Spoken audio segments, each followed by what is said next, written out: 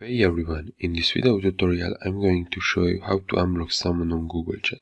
Also, if you want to know how to be more productive online, make sure to check our free productivity resources below and also sign up for our free productivity newsletter. But now let's see how to unblock someone on Google Chat. So the first step is open Google Chat and find the person you want to unblock in your chat list or search for the name. Open the chat conversation with that person Click on the name or the picture at the top of the chat window to open the profile. Look for the option that says unblock and click on it.